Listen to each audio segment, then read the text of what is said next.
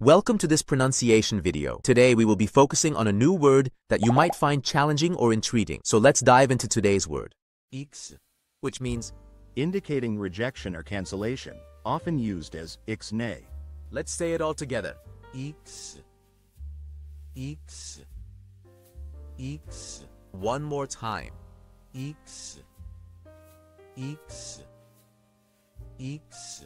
Thank you for joining us on this adventure in pronunciation. Remember, language is a journey, not a destination. Keep exploring, experimenting, and expanding your linguistic horizons. We'll see you next time.